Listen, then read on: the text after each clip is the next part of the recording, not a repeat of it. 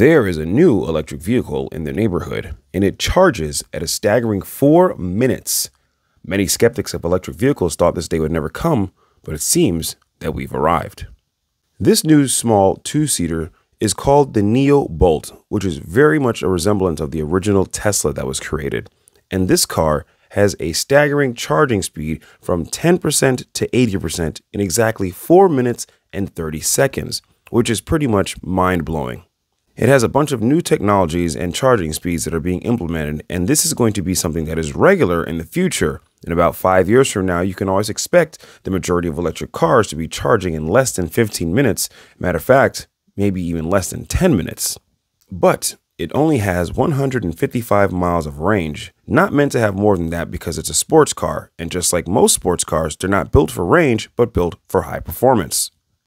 And this car is exactly that.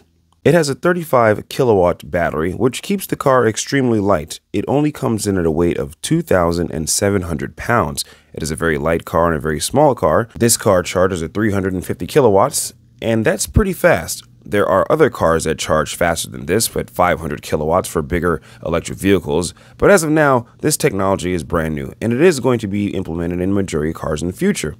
Also, the battery has been tested to drive 600,000 miles, and the battery will still hold 80% of its capacity, which is mind blowing. The majority of cars that go that far, electric vehicles specifically, the battery dies down pretty well. But this technology is going to continue to get stronger and better and be put into cars in the future.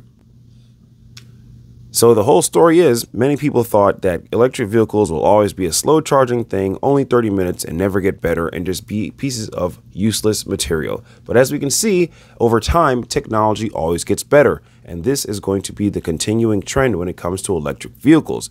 The battery technology is getting better and better. And on top of that, the whole idea of electric cars catching on fire and the batteries catching on fire, this technology is getting so well that these things are going to become obsolete. Not saying that they won't happen, but we're saying as often. As a matter of fact, electric vehicles do catch on fire a lot less than gasoline cars, but a lot of people don't want to talk about that. But anyhow, electric vehicles are becoming more efficient, charging faster, and the price of them are dropping drastically.